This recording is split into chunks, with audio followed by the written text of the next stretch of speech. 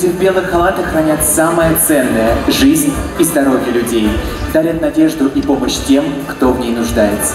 Сфера здравоохранения – одна из самых приоритетных в нашем регионе. Это часто подчеркивает губернатор Павел Малков. Ежегодно Рязанский медицинский колледж выпускает больше 600 специалистов. В этом году выпуск особый. Ребята уже знают, где они будут работать в ближайшие три года. Я целевик, поэтому меня уже ждут на работу. В ближайшие два месяца я э, приду работать в кардиологический диспансер. Уверен, завтрашнем дне, безусловно, есть. Э, у меня уже есть рабочее место. Плюс э, так сказать, преимущество в том, что я вижу свое рабочее место, я работаю с теми людьми, с которыми мне предстоит работать, и это помогает в адаптации. То есть не будет такого периода, что я приду и два месяца мне нужно будет для привыкания. На самом деле у меня в семье вообще нет медицинских работников, я была первым, кто, а, так сказала, открыл эту династию. Меня интересовала медицина, меня интересовала биология, мне было это все интересно, и я решила, что я хочу в медицинский. До 1 мая 2024 абитуриенты сами искали заказчика, обучение заключали с ним договор. Теперь государственные учреждения и частные компании компании публикуют целевые места на единой цифровой платформе «Работа в России». Для того, чтобы учиться за счет средств своего будущего нанимателя по выделенной квоте, будущий студент подает заявку дистанционно в бумажном или электронном виде. Плюсы целевого направления в том, то, что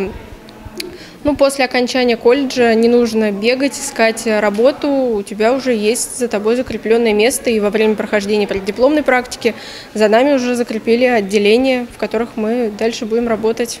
В семье есть медики, и хотелось э, как бы ну, в будущем свою семью понимать, чем лечить, как лечить, да, и будущему потомству также, чтобы помогать. От имени губернатора будущих медиков поздравил министр здравоохранения Рязанской области Александр Пшенников. Атмосфера, корпоративная культура, чувства, темпы развития – вы. Та цифровизация, та динамика, которая происходит, без вас не получается. Поэтому мы вас всех ждем, мы поможем.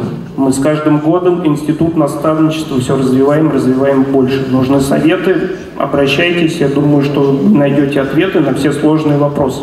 Если быстро не найдете ответы на сложные вопросы, мы возьмем в работу их, мы обязательно поможем и подскажем. Годы обучения в колледже позади, и теперь ангелам в белых халатах предстоит ответственная и очень важная миссия. Некоторые выпускники уже получили первичную аккредитацию и могут работать в больницах региона. Кристина Бочкарева, Михаил Лазуткин, телекомпания «Город».